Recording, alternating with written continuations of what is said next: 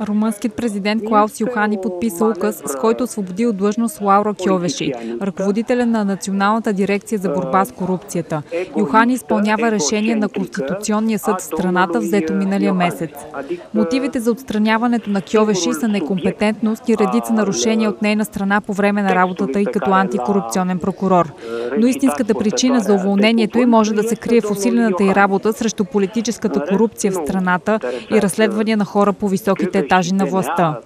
Кьовеши оглавяваше Румънската антикорупционна агенция от 2013 година насам. През февруари министърът на правосъдието в Румъния Тодорел Туадер повдигна обвинение срещу нея за твърде авторитарно управление. Той също заяви, че Кьовеши системно е навредявала на имиджа на страната по време на интервюта с чуждестранни журналисти и че под нейно ръководство мнозина антикорупционни прокурори са фалшифицирали доказателство.